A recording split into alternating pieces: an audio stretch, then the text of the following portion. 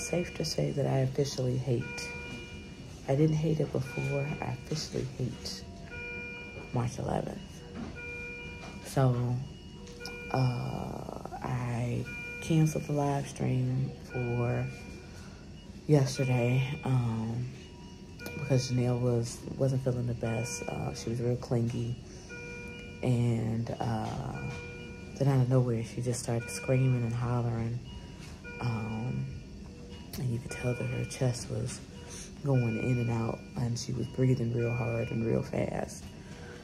Um, so Jeremy rushed her to the emergency room, and uh, she got chest X-ray. She got swab for you know respiratory panel, and she got breathing treatments.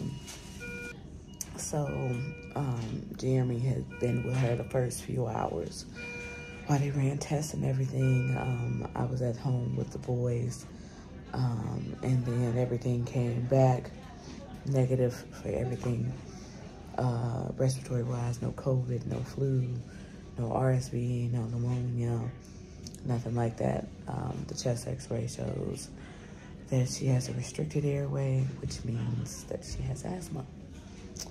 Um, get into another explanation about that uh, at a different time. But now the hospital that we're at, they don't have a pediatric unit. Um, so she needs to be transferred to a hospital that has a children's hospital. So uh, we are currently waiting on the ambulance and leave it alone, leave it alone. Um, so she's had several breathing treatments.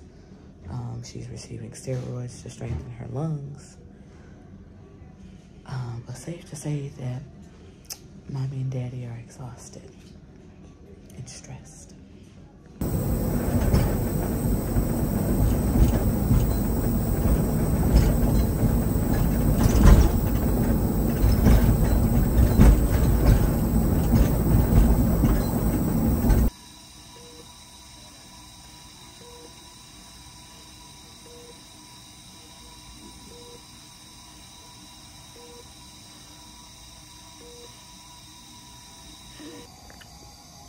So I haven't checked in in a while. Y'all, excuse my hair. I have been up since, even know how many hours I've been up. Um, we are at a new hospital.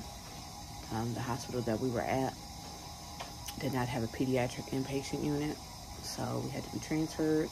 So now we're at one of the children's hospitals, specifically the one that she normally goes to. So um, it worked out.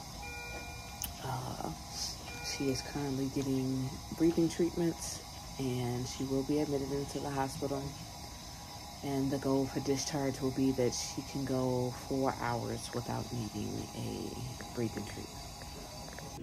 So just ask if you're ever confused about what's happening. Like why your child is having a test or procedure done. You feel better? Get your bread, macaroni.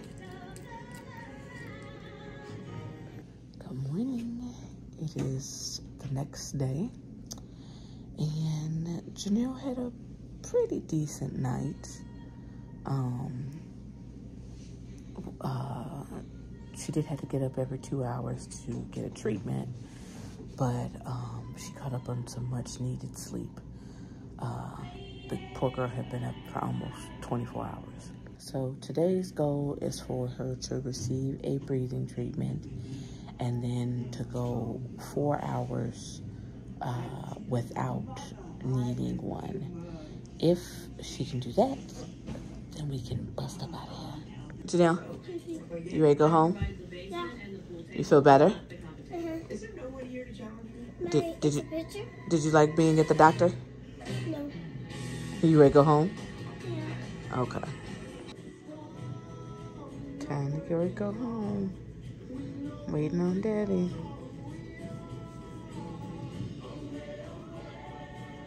Free!